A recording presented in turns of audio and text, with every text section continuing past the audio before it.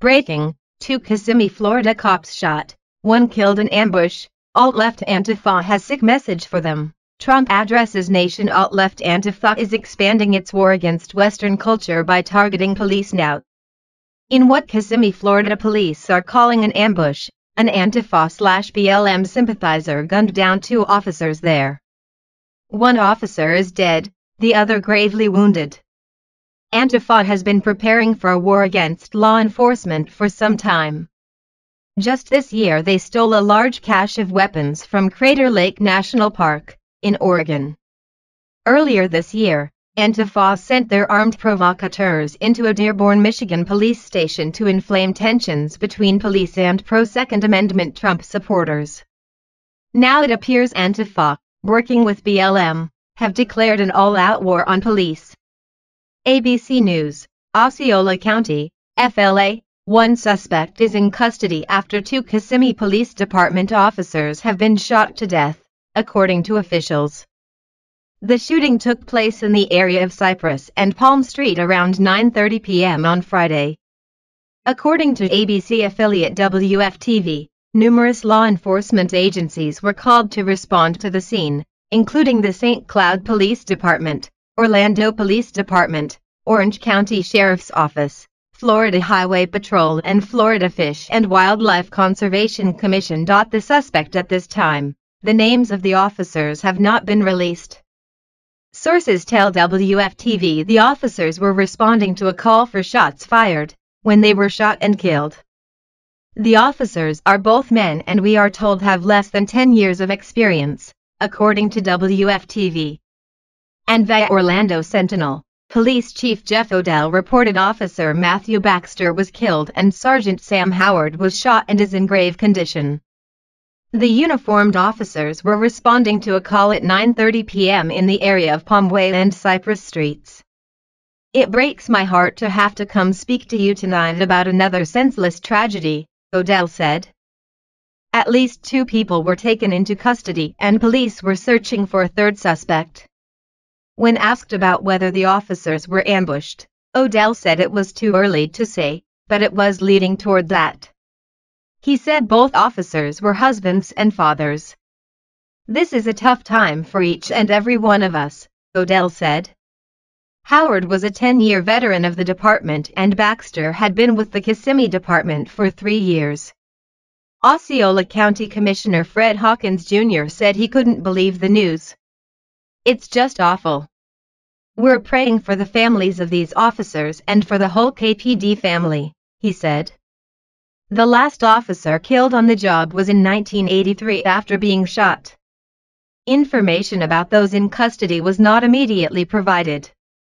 Carlos Santiago, 37, was driving with his wife and daughter back from dinner on International Drive when they saw dozens of patrol cars speed past them on Orange Blossom Trail.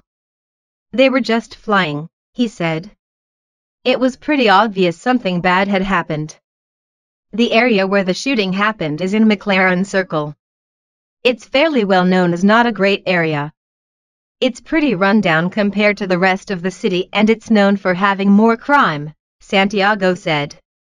FHP said there was heavy police activity in the area and told people to avoid the area. There was also a large police presence at Roscoe's late Friday. While the media waited for O'Dell to address the public in front of the emergency entrance at Osceola Regional Medical Center, two women were being escorted out of the building by two police officers.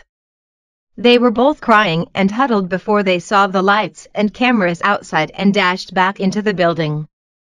At least four Osceola deputies were stationed by the south entrance to the hospital, wearing body armor and carrying heavy guns, standing next to their patrol cars. Alexis Nieves, 27, was driving to see a friend when she got stopped at a red light on Orange Blossom Trail and US Highway 192. She saw a few cop cars then dozens started arriving to the intersection. She looked to her left and saw an officer with a long gun, though she saw a person being loaded into an ambulance. There were helicopters circling the in the area. Emergency crews were doing CPR and trying to resuscitate the person. Nieves didn't know it was an officer who had been shot. I just started crying, she said. I didn't know what to think. It's so sad. Nieves said she saw said more than 80 law enforcement vehicles flooding the area, along with fire trucks and EMS vehicles. I was in the middle of it all and couldn't believe what was happening, she said. I called my friend in tears. I've never seen anything like that. Messages of support flowed out from across the country. On its Twitter account, the Orlando Police Department said, Please keep at Kissimmee Police in your prayers tonight. The Orange County Sheriff's Office also offered its own message of comfort, saying, Our solidarity is with the Kissimmee Police as they deal with this tragic loss. President Trump, an ardent supporter of law enforcement, tweeted his sentiments. Antifa and BLM are well known for their hatred of police and Western culture. They are now working together to undermine the Trump presidency and all of America. Even Israeli Prime Minister Benjamin Netanyahu's son is sounding the alarm bell as to what's going on with Antifa and BLM, saying, The thugs of Antifa and BLM hum hate my country, and America too in my view, just as much are getting stronger and stronger and becoming super dominant in American universities and public life.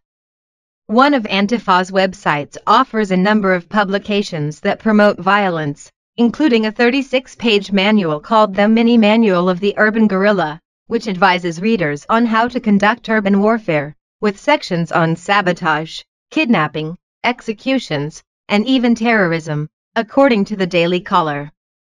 Antifa, BLM, and Democrats are promoting an all-out war against the institutions of our government, against President Trump, and against all Americans. These heinous crimes they are committing must not be tolerated. It's time to stand up and deal them a death blow by speaking truth to their treasonous and terrorist acts.